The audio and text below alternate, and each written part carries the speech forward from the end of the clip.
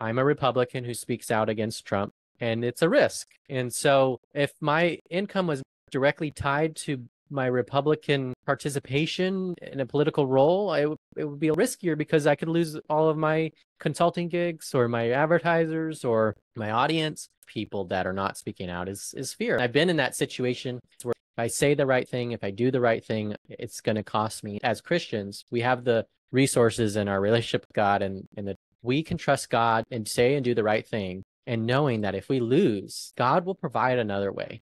It'll probably be healthier. And they're just not courageous enough to, to take that step.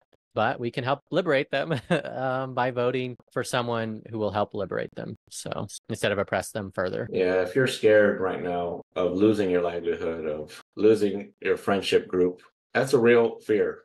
God will deliver you in mm-hmm. probably even more beautiful ways if you have the courage to. Yep.